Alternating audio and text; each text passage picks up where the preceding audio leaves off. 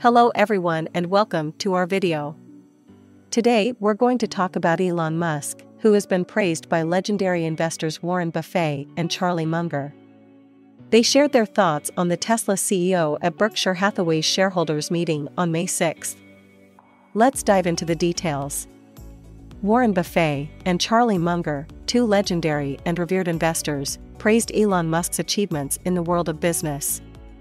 They have often had good words and compliments for CEOs and other entrepreneurs in their long careers, but the timing of Musk's praises is not insignificant.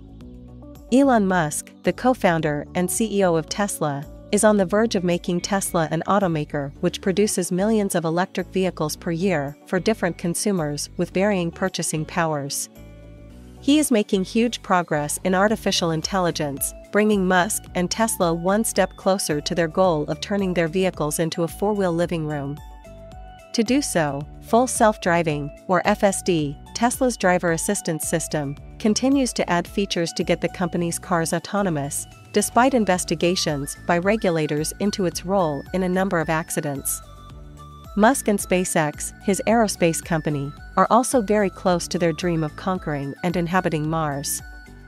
They managed to launch Starship, the most powerful rocket in the world, last month even if this orbital flight ended in a few seconds due to an explosion. Musk has promised another attempt within a month or two. At Berkshire Hathaway's shareholders meeting, Warren Buffett and Charlie Munger were asked about their thoughts on Elon Musk.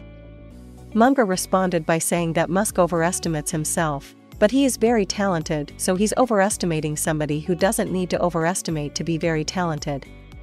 Buffett chimed in by saying that Elon is a brilliant guy who dreams about things and his dreams have got a foundation. It's worth noting that these remarks were made during the annual shareholder meeting of Berkshire Hathaway, which is Warren Buffett's holding company. He is the chairman and Charlie Munger is the vice chairman. The two nonagenarians are traditionally at the center of this event. Praising Musk with these words, knowing that their comments would travel around the world, is a signal undoubtedly sent to the business community and investors that the tech mogul is now a force to be reckoned with. Thank you for watching our video. If you enjoyed it, please give us a thumbs up and leave a comment below sharing your thoughts on Elon Musk and his achievements. And don't forget to subscribe to our channel for more interesting videos like this.